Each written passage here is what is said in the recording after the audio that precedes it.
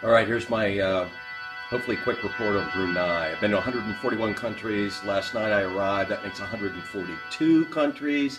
It's really funny. You're not allowed to uh, drink alcohol here. This is a Muslim country. It's a sultanate near uh, Malaysia and Indonesia. Um, you're allowed to bring in 12 cans of beer, which I did not, and you're only allowed to drink that in your hotel room. So here's here's where we are at the Radisson.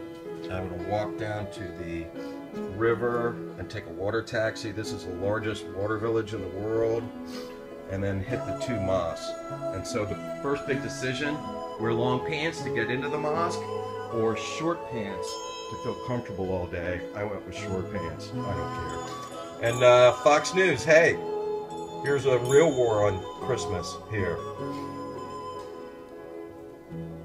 No non-Muslim Christmas decorations. All right, let's go see the city.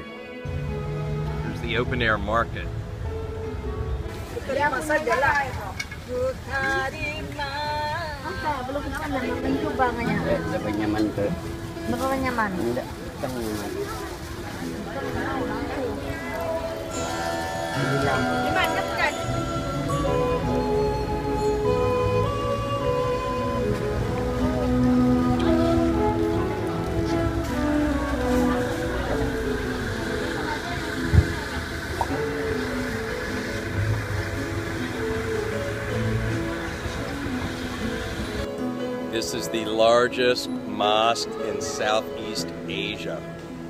It was completed when I was two years old by the 28th Sultan of Brunei.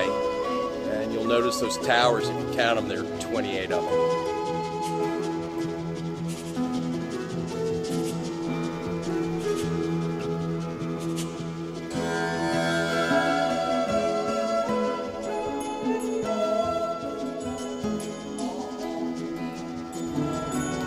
Can't film inside, but it's hot as hell here, so wearing shorts was the right decision. Um, but look at me now.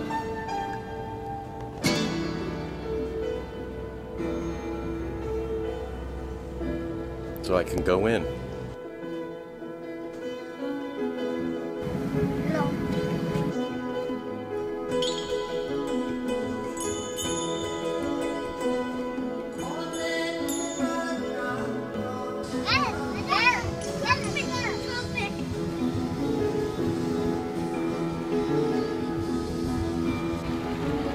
Right, this village is entirely on stilts. It's uh, supposed to be the largest water village in the entire world.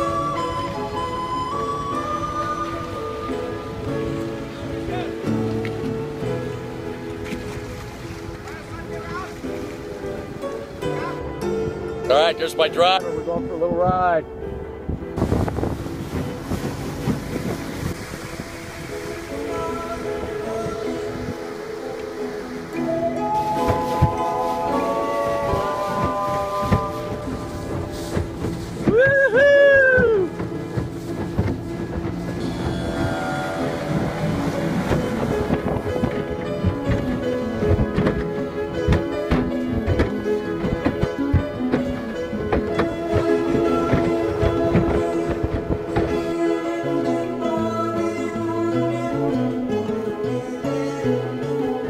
Dinner report. It's wet.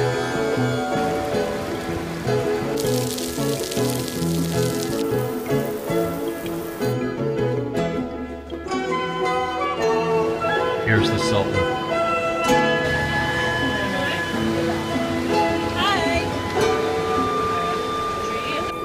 Uh, we're going to go to the Regalia Museum. It's where they have all the jewels and crazy gifts that have been given to the Sultan. I don't think you can film in the main part of it, but let's go see. Again, shoes off.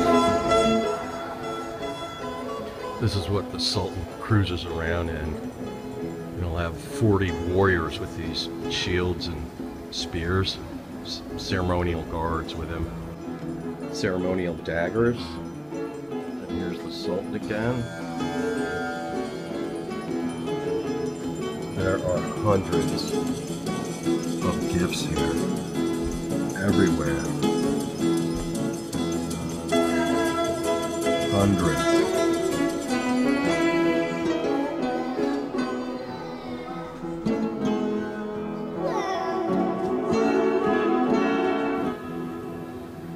And this is what the procession would look like.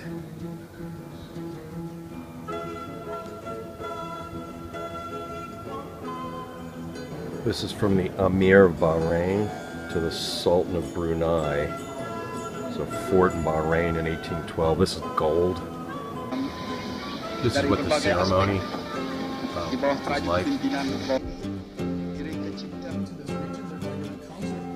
Okay, so a plane just disappeared, and it's actually near me, but I'm not on it. But it's, uh, I think a thunderstorm did it in, and I was just stuck for an hour because of the rain.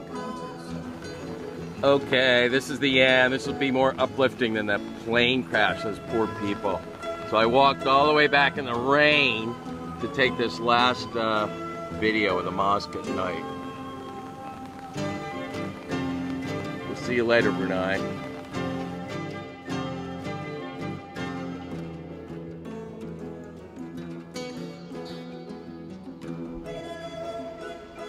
It is so wet out. My feet are soaked.